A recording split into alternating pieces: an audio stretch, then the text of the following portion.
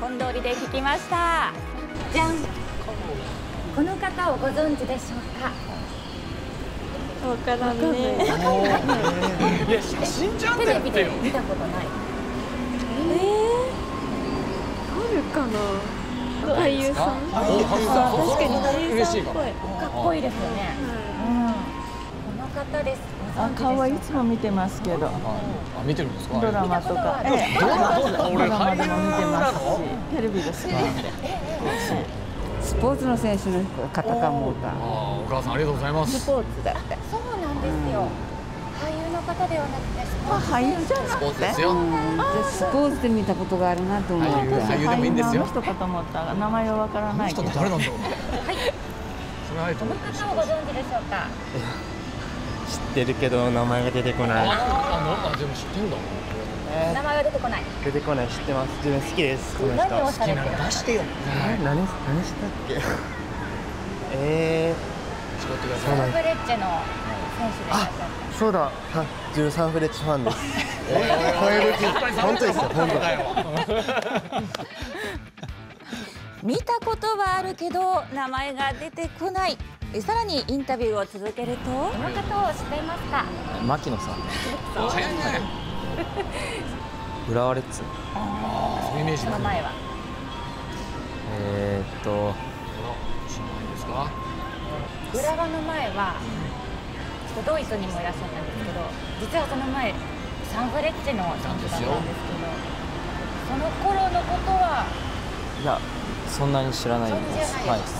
そうね結この構前です方をご存知でしょうか？すどなたです牧野さん。あー嬉しいありがとうございます。もともとサンフレッチェ広島の選手です。それそれ。サッカー選手としての印象は？うんあのね得点も決めれるディフェンダーで自分でめっちゃ知ってくれてる。DFW だったっけな？知ってくれてありなんか有言実行するしお祭り男でいつもいいとこで決めますよね。いいワードですね。ももできればもっと広島におってほしいなって思います。嬉しい言葉ですね。はいなるほど。はい、今の方はインスタもねフォローされていて大好き嬉しい。ありがとうございます。はい、はい。幅広い世代に伺ったんですけれども、まああの俳優さんですか？っていう方とサッカー選手ですか？やや俳優さんが多かったかも。しれない、つぶやさんでも写真のチョイスですよ。これスタッフが選んできました。もっとさあのユニフォーム着てない写真ありますよ、ありますか？はい。しかもこれこの髪型のセットあのなんていうんですか？この撮影用にこれやってるんで、もっとなんかこういつもの資産っぽくね、あったじゃないですか。ですからこの大きい画面に映ってる髪型であれば、でまたさらに牧野さんの方というのがはい分かる可能性もあるかも。でもどことなくちょっと俳優って言われてあの悪くない気もします。いや私ちょっと即答できなかったんですよ、はいまだ出てはらっしゃる出てないです出てないです。まだはい出てないんですけどあのオファーはあるんです。そうですか。あるんですけどまあやっぱりちょっと演技はできないですから。ええできないです。絵じゃないですよ。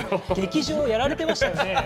まあいろいろやってきましたけどでもあでも知らない方もねいらっしゃるんですね。そうですね牧野さん、うん。今後どんな監督を目指していかれますか？そうですね、まあ、まずはやっぱりこう選手たちを輝かせられる監督になることだと思いますしあとは自分がやりたいことはそのサッカーを強くするチームを強くすると同時にやっぱり街をですね元気にする、うん、地元にこういうチームがあるよっていうお金を払って時間をかけてでも見に行きたいって思ってもらえるようなチーム作りを一緒に作っていきたいっていうのが、ね、ありますけどね。はいサンフレッチェだったら新スタジアムもねうんできてきていますから、うんここでねまた牧野さん見られるのかっていうところも。ああ面白いかもしれないですね。はい、非常に楽しみです。ありがとうございますはい、ありがとうございました。